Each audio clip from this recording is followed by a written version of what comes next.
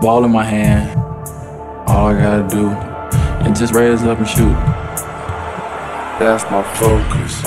All I gotta do is shoot the shot the same way. We just want to maintain focus. You have to execute. Every night, 48 minutes. all I gotta do is focus.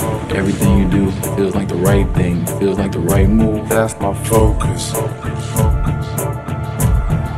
You gotta stay focused.